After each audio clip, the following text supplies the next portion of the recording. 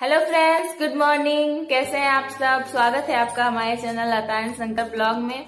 और सबसे पहले तो सॉरी क्योंकि कुछ दिनों से ब्लॉग आ नहीं रहा था। और बिकॉज़ मेरी तबीयत थोड़ी खराब थी।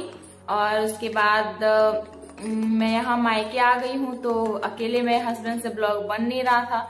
मतलब हालाँकि ब्लॉग वही बनाते थे, पर उन्होंने कहा कि जब तुम नहीं होती हो तो ब्लॉग बनाने का मन नहीं करता है। तो अभी मैं यहीं से आप लोग को ब्लॉग बनाऊँगी और आज जन्माष्टमी है तो आप सभी को हैप्पी जन्माष्टमी।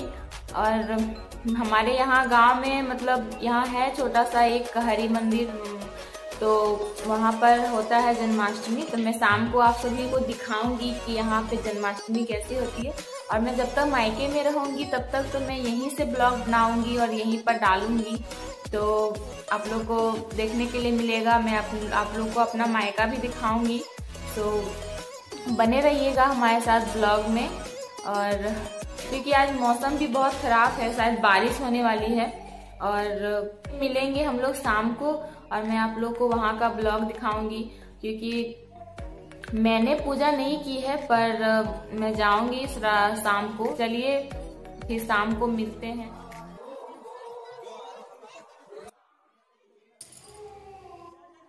देखिए फ्रेंड्स हम मंदिर पहुँच चुके हैं और ये देखिए मंदिर के अंदर राधा कृष्ण की मूर्ति है और बहुत ज़्यादा भीड़ है। मतलब हम जब भी यहाँ पर जितने बार भी आए हैं, सब में से इस बार ही हमको लग रहा है कि ज़्यादा भीड़ है और ऊपर ही नहीं, नीचे भी बहुत ज़्यादा भीड़ है। ये तो मंदिर के ऊपर में है, जो जो लोग पूजा की हुई है, जो उपवास रखी है, वो लोग यहाँ पर हैं। और नीचे भी देखिए, बहुत ज़्यादा भीड़ है। एक मिनट में दिखा रही हूँ आप सबको। देखिए, वहाँ से लेकर ये सामने दिख रहा है, पर बहुत दूर से भीड़ है। और ये भैया देखिए, सबको आरती दे रहे हैं, क्योंकि पूजा लगभग ख़त्म हो गया है। और देखिए, बहुत ज़्यादा भीड़ है। हमारे यहाँ ऐसे ही होता है। ये गाँव है तो सिंपल तरीके से ही पूजा होती है यहाँ पर। फिर भी इस पर बहुत ज़्यादा भीड़ है। और ये देखिए मंदिर है, पर लाइट अच्छा नहीं है, इसी वजह से मैं उतना अच्छा से दिखा नहीं पा रही हूँ आप लोगों को, पर ये अच्छा है। और देखिए पूजा करने के लिए हो गया है ना तो सब लोग देखिए ये परिक्रमा कर रही हैं, जितने लोग भी पूजा की हुई हैं।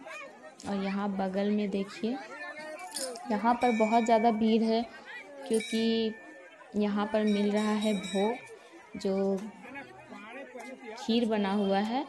मतलब हर साल यहाँ पर भोग में खीर मिलता है और सिर्फ़ दूध में दूध और चावल का ही सिर्फ़ खीर बनता है और मतलब देखिए हम सामने से दिखाते हैं आप लोग को। ये देखिए, बहुत बड़ा पतीला में बनाया हुआ है ये खीर और जितने लोग भी यहाँ पर आए हुए हैं देखने, पूजा करने, सबको ये खीर मिलता है। और चलिए देखिए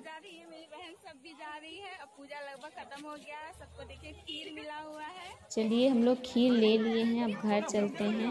वीडियो अच्छी लगे तो लाइक कीजिएगा।